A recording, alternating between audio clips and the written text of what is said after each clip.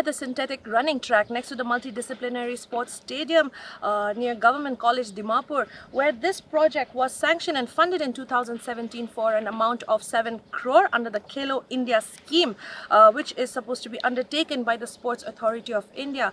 But viewers why we are here is not because of this incomplete project since 2017 but also the many projects that are under the Khelo India scheme in Nagaland. Now, according to a report from the Press Information Bureau, Nagaland has received an amount of 45.75 crore under the Khelo India scheme since its inception for 11 projects in the state.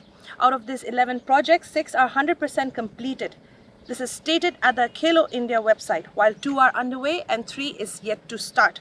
Now the interesting part here viewers is that five completed projects that is the construction of the multi-purpose hall at Viswema, multi-purpose hall um, in Mitsapima, in Chumoukedima and multi-purpose hall in Ripiam in Wokha including an indoor badminton hall at Yachim in Longleng and synthetic turf football ground with running track and solar lighting in Mon all projects sanctioned and funds released in 2020 amounting to rupees 33 crore.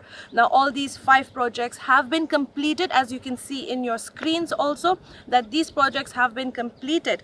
But the main question here is, in March of 2024, this year, the Chief Minister Neiphiu Rio had re-inaugurated these completed projects. Now he did it virtually in Kohima in the presence of the Union Minister Anurag Thakur as well as other government officials in Kohima in March 2024 this year.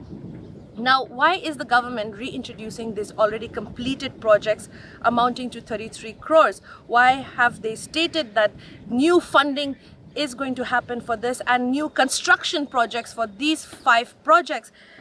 Nagaland News Network also tried to reach out to the advisor of sports and youth resources, Keoshu Yimchunger, but we could not connect with him and this is a, a question to the government as to why already completed projects of the Khelo India scheme, which is clearly mentioned that it is completed with the visuals in your screen as well, which the Khelo India website has put up for reference, uh, but then the government has reintroduced and re-inaugurated as if they were new projects. This is a developing story. Esther here with camera person Moa for Nagaland News Network.